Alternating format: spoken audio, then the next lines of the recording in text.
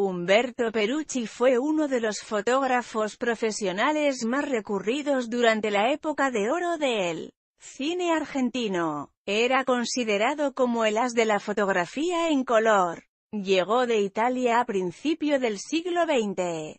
Ya radicado en Argentina, se inició en cine junto a su padre, el pionero Emilio Perucci en 1923.